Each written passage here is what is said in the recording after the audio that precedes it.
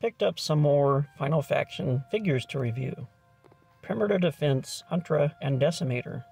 As you have seen in my last videos, I really like these figures, and I like to find ways to use figures like this for my 12-inch action figures. Here's Huntra. You can pause the video and read the back if you want.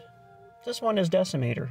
Out of the package, Huntra comes with two missiles, Decimator only comes with one. Huntra has these cool looking insect legs that pivot on a single joint. This gives Huntra a small bit of articulation. The turret rotates a full 360 degrees. There is no elevation.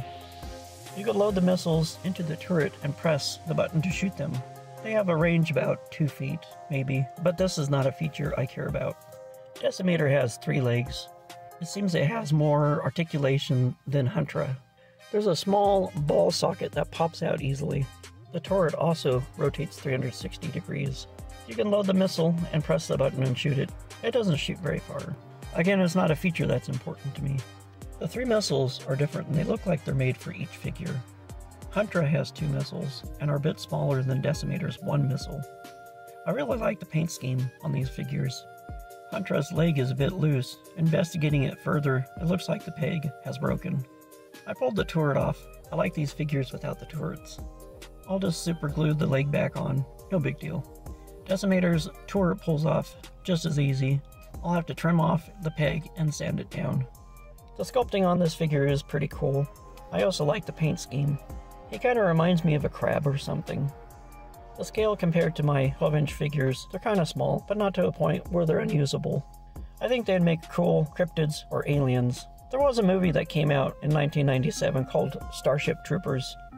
In this movie, soldiers of the future fought a horde of insects.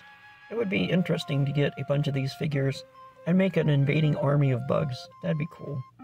Poor Huntra will be fine. I'll just glue him back together. I guess with something you can buy for buck 25, you're gonna end up with some lemons. I would love to get more of these two figures. I think they'd make a cool photo story of an invading army of little creatures. Well, that's all I have for you. I hope you enjoyed my review of these Final Faction figures. If you're not subscribed, please consider subscribing. Thanks for watching. Like, share, comment. It really helps my channel out. Don't forget to collect, inspire, and create. See you in the next one.